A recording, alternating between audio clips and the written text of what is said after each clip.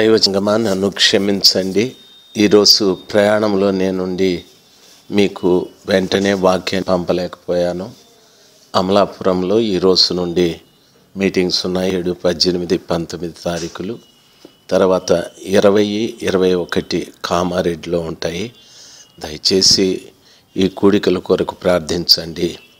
నాకు మంచి ఆరోగ్యాన్ని దేవుడు దయచేసేటట్టు ఈ ఈ వాక్య పరిచయ విషయంలో నాకు మంచి సమయాన్ని దేవుడు దయచేసేటట్లుగా మీ అందరి ప్రార్థనలు నాకు అవసరం. దయచేసి ప్రార్థించండి. దేవుడు మిమ్మల్ని దీవించుగాక. ఆది కాండము ఏడవ అధ్యాయం. యహోవ ఈ తరములో వా తరము వారిలో నీవే నా ఎదుట నీతిమంతుడవై ఉండుట చూచితిని గనుక నీవును నీ ఇంటి వారును ఓడలో ప్రవేశించుడి అని నోవహుతో ప్రభు సెలవిచ్చాడు. ఎంత విలువైన మాట గమనించవలసిన విషయం. సర్వలోకాన్ని సృష్టించిన సృష్టికర్త అయిన దేవుడు సమస్తము ఆయన మూలముగా కలిగించిన దేవుడు ఆయన లేకుండా ఏది కూడా కలగలేదని చెప్పబడిన దేవుడు ఆది అంతమై ఉన్న ఆ గొప్ప దేవుడు ఈ తరములో నీవే నా ఎదుట నీతిమంతుడవై ఉండుట చూచితిని గనుక నీవును నీ ఇంటి వారు ఓడలో వేషించండి అని నోవాహుతో చెప్పాడు. ప్రియ దైవజనాంగమా దేవుని సన్నిధానంలో మనం ఉంటున్నాం ఆయన పిల్లలమని చెప్పుకుంటున్నాం. నేను మారుమనసు పొందాను బాప్తిసం పొందానని చెప్పుకుంటున్నాం. నోవహ్తో ప్రభు మాట్లాడినట్టుగా ఈ దినమున ప్రభు మనతో మాట్లాడగలరా? ఈ తరములో ఈ రెండు వేల పదిహేడో సంవత్సరాన లేకపోతే ఈ కృపా కాలమున నీవు నా ఎదుట నీతిమంతుడు అయి ఉంటివి అయ్యా. అమ్మా నీవు నా ఎదుట నీతిమంతురాలవై ఉంటివి. నీవును నీ ఇంటివారు మధ్య ఆకాశంలోనికి రండి. నీవు నీ ఇంటివారు నా దగ్గరికి రమ్మని పిలిచే ఆ పిలుపుకు తగిన రీతిగా మనం నీతిమంతులం జీవిస్తున్నామా? ఆలోచించవలసిన విషయం మనకో సంఘము మనకొక కాపరి మనకొక సంఘ కట్టుబాట్లు నిబంధనలు ఇవన్నీ కూడా ఉన్నాయి. దయచేసి వాటిని పాటించండి. వాటిని మానుకోమని నేను చెప్పడం లేదు. ఏ సంఘానికి వెళ్ళే బిడ్డ ఆ సంఘానికి వెళ్ళండి. సంఘాలు దయచేసి మారకండి. అది మంచి పద్ధతి కాదు. ఒక కాలేజీలో నువ్వు చదువుకుంటున్నావు. దరిదాపు మూడు మాసాలు అయ్యాది మాసాలు అయ్యాది అయితే ఆ కాలేజీలో ఫ్యాకల్టీ సరిలేదని ఇంకొక కాలేజీకి వెళ్ళవు కదా. పెద్దలు అంటారు ఈ సంవత్సరం పూర్తి చేయి. నెక్స్ట్ ఇయర్కి ఇంకొక కాలేజీలో చేరుదు కానీ అని ఓ లోక సంబంధమైన విద్య విషయంలోనే అంత పద్ధతిని పాటించినప్పుడు పరలోక సంబంధమైనటువంటి విషయాలలో సంఘాలు మారడం మంచిది కాదు. మా కాపరి మంచివాడు కాదు ఆ మంచివాడు కాదు ఆ సంఘం అట్లాంటిది ఇట్లాంటిది. తప్పులు చెప్పకండి. ఎందుకంటే సంఘము క్రీస్తు శరీరం.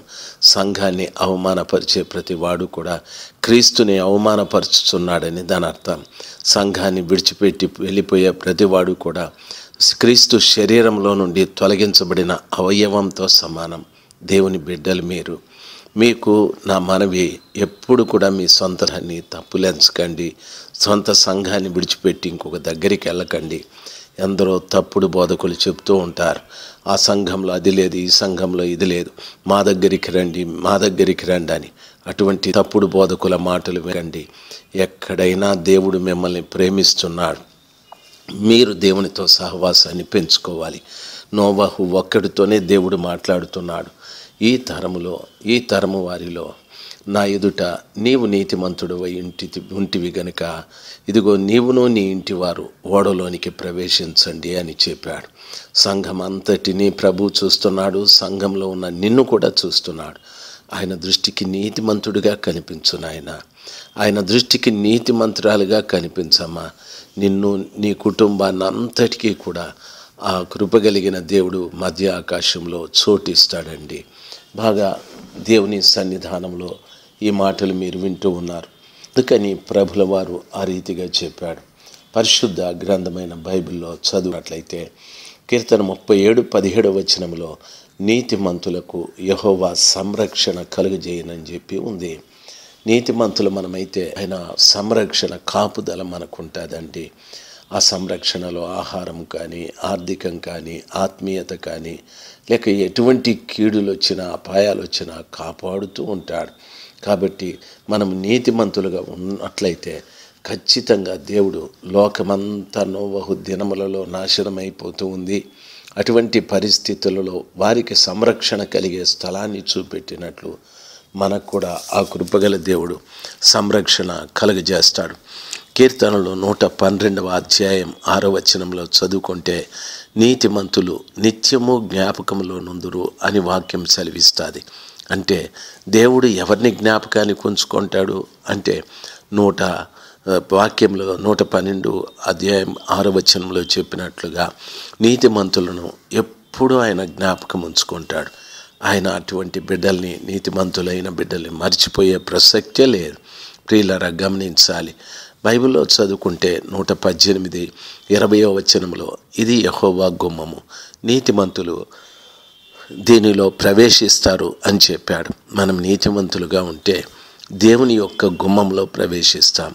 ప్రియులరా వాక్యం సెలవిస్తుంది. ప్రభు అన్నాడు నేనే ద్వారమును నా ద్వారా తప్ప ఎవడు తండ్రి వద్దకు వెళ్ళలేడు అనని. నీతిమంతులైతే యహోవా గుమ్మములో మనం ప్రవేశించి ఆ గొప్ప దేవుని గొప్ప దేవుని వద్దకు వెళ్ళటానికి ప్రభు కృపద ఇచ్చేస్తాడంటే పరలోక ప్రవేశము మనకు ఉంటుంది. కాబట్టి నీతిగా బ్రతకటానికి మనం నేర్చుకోవాలి.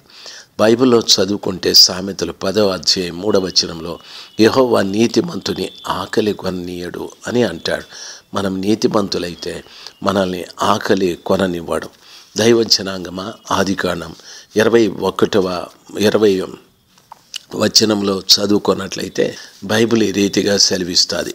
ప్రభువుని ఏమంటాడంటే మీరు ఓడలోనికి ప్రవేశించేటప్పుడు ఇరవై ఒకటో వచనంలో ఉంటాడు ఆరో అధ్యాయం. మరియు తినుటకు నానా విధములైన ఆహార పదార్థములను కూర్చుకొని నీ దగ్గర ఉంచుకొనుము. అవి నీకును వాటికిని ఆహారమగునని చెప్పాను. అంటే దాని అర్థం మనము నీతిమంతులుగా ఉంటే ఆ కృప కలిగినటువంటి దేవుడు నీతిమంతుని అంత మాత్రము కూడా ఆకలి కొననివ్వడండి. వాని ఏ విధంగానైనా వానికి వాని అవసరాలు తీర్చేటటువంటి దేవుడుగా ఉన్నాడని వాక్యము స్పష్టంగా సెలవిస్తుంది. నీతిమంతులుగా మనముంటే సామెతలు ఇరవయో అధ్యాయం ఏడవచనంలో నీతిమంతుని పిల్లలు వాని తదనంతరం ధన్యులగుదురు అని అంటాడు.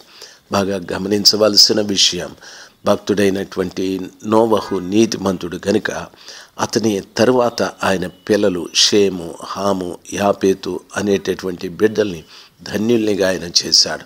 ప్రపంచమందంతటా వారి ద్వారా సంతానం విస్తరించుటకు జనాభా విస్తరించుటకు దేవుడు కృప చూపెట్టాడు. ప్రియులరా గమనించాల్సింది నీ పిల్లలు ధన్యులు కావటానికి నీవు నీతిమంతుడు కావాలి తల్లి. నీతిమంతుడు కావాలి నా ప్రేమైన తండ్రి. దేవుని వాక్యం ఆ రీతిగా సెలవిస్తుంది. చూడండి ఎలాగా నేను నీతిమంతుడు కాగలను అనేటటువంటి ఆలోచన కూడా మనకు రావచ్చు.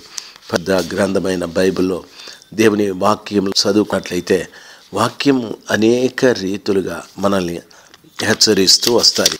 దేవుని వాక్యంలో చెప్పబడినటువంటి మాటలు చాలా ఉన్నాయి. దైవ జనాంగమా దేవుని సన్నిధానంలో కూర్చున్నటువంటి బిడ్డలమైన మనం గమనించవలసిన విషయం హెబ్రి పత్రిక రెండవ అధ్యాయం ఇరవై ఒకటవ వచనంలో చదువుకున్నట్లయితే అబ్రహాము క్రియలను బట్టి అతడు నీతిమంతుడుగా తీర్చబడ్డాడు అని వాక్యం సెలవిస్తుంది. కాబట్టి మనం క్రియలను బట్టి నీ ప్రార్థన నీ ఆత్మీయత ఇవన్నీ కూడా బాగా గమనించవలసిన విషయం.